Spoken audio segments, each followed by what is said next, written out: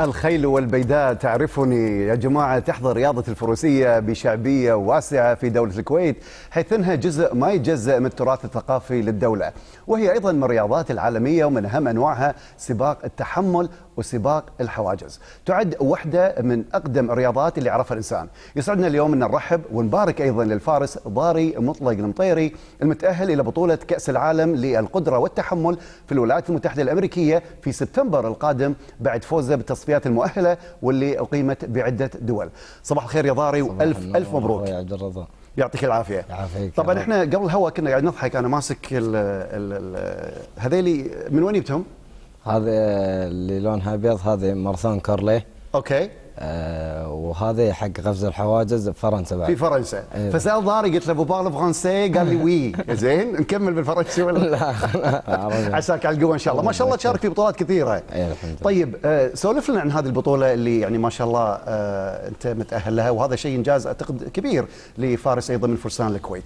أول شيء لله الحمد آه يعني بطولة كأس العالم يسعى أي فارس سواء من الكويت ولا من خارج الكويت إنه يشارك فيها. بلا شك. كاسم بطولة آه، كأس عالم بالنسبة لتأهل كأس العالم كل فارس يحتاج إنه يكون مخلص اول شيء سباقات ال novice سباقات اللي تأهل الفارس وتأهل الجواد إنه يركض ال one star. ومن تخلص ال one star؟ التأهل لل two star ومن ثم ال three star. أما بالنسبة لكأس العالم لازم آه، سباق ال two star اللي هو 120 كيلو تكون مخلصة أربع مرات. يعني آه، يعني حق كأس العالم كوجه عام لازم تكون مخلص تقريبا ست إلى سبع سباقات عشان تكون qualify لكأس العالم. نعم. ما يشترطون إن تكون المركز الأول المركز العاشر. نعم. ما في شرط حق المراكز بس بال 160 كيلو اللي هي ال three star نعم. يكون limited speed يعني إنه حاطين لك سرعة معينة. نعم. ما تقل عن 15 كيلو بالساعة مهم. وبس من هذا- متى ضاري تمارس هذه الهوايه؟ بلشت أركب خيل من كان عمري ثمان سنين. ما شاء الله. تعلمت على يد أخوي الفارس آه، ناصر الحميدان. نعم. آه، هو اللي آه، على قولتهم آه، هو اللي نمى هذه الموهبة فيني. أها. آه، علم أسسني على القفز الحواجز والقدرة والتحمل. تمام. لين الحمد لله آه، تأهلت الحين لكأس العالم. زين الظاهر إن حتى في يمكن رياضة الخيل في كذا نوع منها يمكن اللي ذكرته حضرتك اللي هو القدرة والتحمل. شلون هذه تفرق خلينا نقول مثلا عن الرياضات الأخرى اللي موجودة في الخيل؟ آه، بالنسبة للقدرة والتحمل القدرة والتحمل مثل ما أنت عارف أن مسافات طويلة. نعم. وتفرق عن رياضة مثلا قفز الحواجز الفلات ريس. أن قفز الحواجز مثلا مدة البطولة يكون دقيقة للفارس لكل تعتمد فارس. على القفز على الحاجز تعتمد على القفز إن الحصان يقفز إنه ما يطيح وإنه من هالسوالف.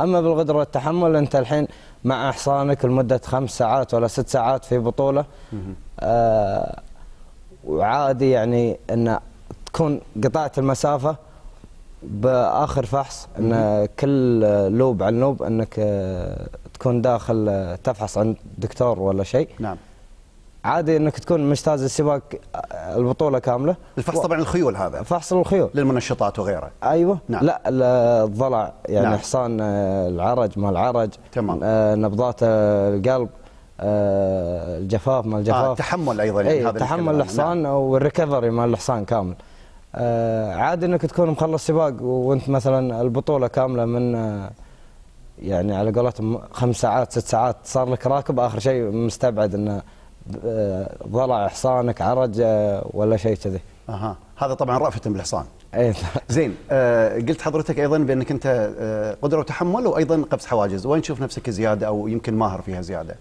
والله أشوف نفسي بالقدرة والتحمل. وهذا الشيء اللي خلاني أسعى إني أبرز أه وأكون متأهل لكأس العالم. أه سعيت للشغلة هذه بديت أركب دولي أه سباقات دولية من قبل ست إلى سبع سنين. ما شاء الله. شاركت أول سباق لي بفرنسا من بازير والحمد لله حصلت اجتزت السباق. حصلت على ثاني أفضل حالة صحية للجواد. الحمد لله. ومن بعدها است...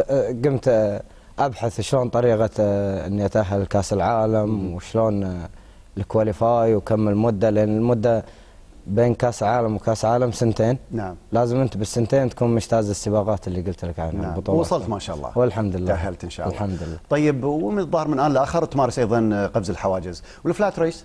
الفلات ريس لا ما ليش؟ يعني الفلات ريس عندنا هذا اختصاص المدرب اللي مدربني نعم. ف ما ما ما هو- ما يعني يبي لها خبرة أطول مثلا؟ ما جذبتني الرياضة ولا قصورا فيها يعني. أها. ما جذبتني الرياضة هذا مثل الحماس قفز حواجز قدرة تحمل. الفلات ريس للأمانة ما جذبتني. زين ذكرت تقريبا من ست سبع سنوات وأنت تشارك في بطولات دولية. أه، قبلها أكيد كنت تشارك في بطولات محلية. أي أه، شلون كانت تتم المنافسات مثلا على المستوى المحلي اللي أهلتك بأنك أيضا تقدر تشارك في البطولات الدولية؟ إحنا الحمد لله بالكويت آه، الكويت عندنا من أحسن الفرسان يعني ولا قصورا باخواننا الثانيين. ومن آه، البطولات اللي تصير عندنا بالكويت سواء إنها مو دولية. مهم. مع ذلك إن البطولات عندنا هنا تكون فيها منافسة أقوى من السباقات الدولية. تمام. يعني إحنا بالكويت الحين عندنا العديد من الفرسان الأبطال الحمد لله. صحيح. و... والمشاركة هنا بحد ذاتها بالكويت يعني شيء آه، على قولتهم اكسبيرينس أكثر من اللي برا مع إن إحنا السباقات اللي عندنا هنا مو دولية. لكنها قوية. لكنها أقوى من السباقات الدولية اللي برا. يعني. الحمد لله أنا ركبت بالكويت وشاركت بالكويت. ويوم ر... ويوم رحت شاركت برا ما فرقت معي لأني أنا عندي بالكويت بطولات أقوى من هذه. والحمد لله. أي فئة عادة تشارك فيها وتنافس فيها؟ إحنا آه، هنا آه، برياضة الغدرة ككل. نعم. هناك ثلاث فئات. الفئة الأولى فئة الجونيور اللي هم تحت 21 سنة. المبتدئين نسبيا؟ الم- ولا عشان العمر؟ الناشئين العمر. ناشئين وفي آه، فئة الفتيات وفي فئة المختلط العمومي. مهم. إيه. أنت وين تنافس عادة؟ آه، العمومي المختلط. تمام ممتاز. زين آه، أبي التجهيزات والاستعدادات مثلا حق مسابقات القدرة والتحمل هل هي تختلف عن غيرها مثلا؟ هل تحتاج أعداد أطول مثلا أكبر؟ اي طبعا أخوي عبد الرضا القدره والتحمل آه، تمرين حصانك آه، الوقت اللي تستغرقه بالتمرين آه، استعدادات البطولة آه، تكلفة البطولة أكثر من أي رياضة ثانية مهم. يعني بغض النظر عن التعب اللي أنت بتبذله زيادة المجهود. المجهود البدني. يعني مثلا خلينا نتكلم على قفز الحواجز يعني تقريبا ماكسيموم 45 دقيقة إذا بتشغل لك مثلا حصان ولا شيء كذا نعم. غير الغدرة والتحمل. الغدرة والتحمل أقل شيء إذا بتشغل خمس ساعات. تمرين حصا- حصان واحد يعني أقل شيء يومي. أنا أقول كنت قاعد أدرب ساعة ساعة ونص. غير الأمور اللي بعد التدريب. غير الأمور اللي أنت قاعد تساعد فيها حصانك. غير التغذية غير غير أمور واجد. زين هل يعني أفهم من كلامك بأن الرياضة الفروسية ما هي سهلة؟ أكيد ما يسهل لا أنا أقصد يعني بالتالي هل مثلا الإقبال عليها يعني في مجال ولا انه بالتالي الواحد يستصعب المشاق اللي راح يدش فيها؟ لا آه هي حالات الرياضة بتعرفها. يعني مم. ما في شيء يجي سهل. اللي اللي يجي بسرعة يروح بسرعة. نعم. آه رياضة آه، جميلة وهذه من التراث اللي عندنا. صحيح. وبالنسبة للخيل هي تجذب آه، راعيها. يعني أنت إذا أول يوم مثلا تقعد عندها ساعة بكرة تقول لا بزيد بقعد ساعتين ثلاث أربع نعم إيه، علموا أولادكم ركوب الخيل فهل لازم نبدي من الصغر ولا ممكن إن الواحد يبدي مثلا متأخر؟ آه، بالنسبة لي أنا بديت من وأنا صغير بس آه، يعني شيء حلو أن الواحد يبدأ من صغير عشان يتطور بسرعة مهم. بس ما ما يمنع أن الواحد هو كبير يركب زين. بالإضافة أيضا إلى المجهود ال- ال- البدني اللي ذكرته والاستعدادات وكذي يعني واضح بأن الرياضة لعلها قد تكون مكلفة شوية. فيا ترى شلون يعني الدعم مثلا لمثل هذه الرياضة عندنا في الكويت؟ آه، أو على الأقل لو تتكلم عن نفسك شخصيا مثلا. يعني شلون كان استعدادك للبطولة؟ هل مثلا كان في هناك دعم؟ هل كان في تجهيز كافي مثلا؟ آه، دعم والله دعم خاص. نعم. آه، والتجهيزات على حسب كل بطولة يعني أنت مثل ما أنت عارف آه، مسافات طويلة لازم أنت تكون مليق حصانك ومليق نفسك. مهم. تكلمنا قبل شوي على سالفة الجواد. الحين على الرايدر نفسه الخيال نفسه لابد أنك أنت تكون عارف أنت شنو مستواك آه، من اللياقة البدنية. مم. إذا لياقتك مو زينة أنت تسعى أنك لما تقصد لما تقول لياقة إيش تقصد؟ يعني شلون الواحد يستعد أو يعني يكون لائق نفسيا أو خلينا نقول جسديا للرياضة؟ يعني الحين أبسط مثال في لا ركبت مسافة طويلة. مهم. إرهاق بدني جهد بدني. أما إذا كنت أنت مليق آه، يعني مثلا مستمر بالرياضة ما تقطع آه، تسوي تركض آه، محافظ على أكلك لأن البطولات عندنا تفرق حتى بالوزن. في بطولة يجيك مثلا يبي وزن معين. يعني محليا إحنا محليا ما في وزن. نعم. أما بالنسبة لسباقات آه، البطولات الدولية يدققون على الوزن. الدولية لا وزن ومن بطولة لبطولة يفرق يعني عادي أنت تكون راكب اليوم بطولة بوزن 70 كيلو ولا 65 كيلو بكرة البط... ثاني يوم البطولة يبون منك 75 كيلو.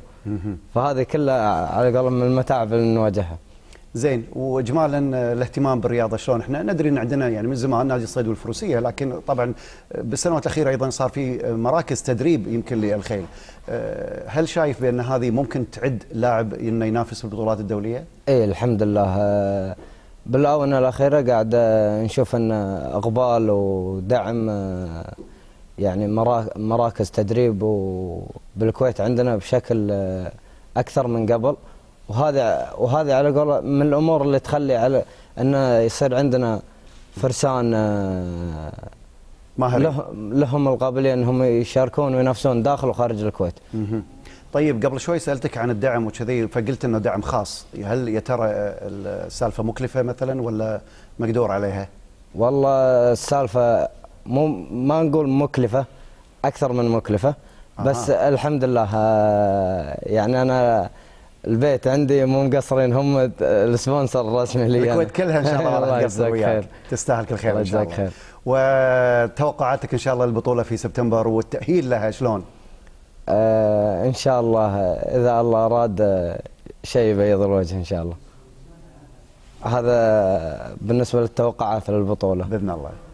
آه، أتوقع إنها راح تكون بطولة صعبة كمشاركة عدد دول آه، كبير وكبطولة وكاسم يعني. مو شيء مو شيء سهل إن الواحد آه، سواء يوصل له ولا إنه يفوز فيه آه، المشاركة بحد ذاتها فوز. ب- ما أتوقع إن اسم الكويت آه، اندرج بالبطولة هذه من قبل. بس إن شاء الله انه بيندرج آه، سبتمبر هذا وراح يكون شيء آه، بإذن الله. يبيض الوجه. أكيد أكيد. آه إن شاء الله يعني طبعا إحنا مرة ثانية نبارك لك اللي التاهل إلى هذه البطولة ومثل ما قلت هذا إنجاز بحد ذاته يعني ما شاء الله. وإن شاء الله أيضا راح نستضيفك بعد شهر سبتمبر وأنت فايز إن شاء الله أيضا شاء بالبطولة. الله يجزاك كل. الشكر والتوفيق لك. يعطيك ألف عافية. إذا أعزائي كان معنا الفارس ضاري مطلق المطيري المتأهل لبطولة كأس العالم للقدرة والتحمل في الولايات المتحدة الأمريكية في سبتمبر المقبل. والحين راح ننتقل إن شاء الله إلى زميلنا نجيب القحطاني اللي موجود حاليا في مشروع المبنى الجديد لمؤسسة التأمينات الاجتماعية. ونقول له صباح الخير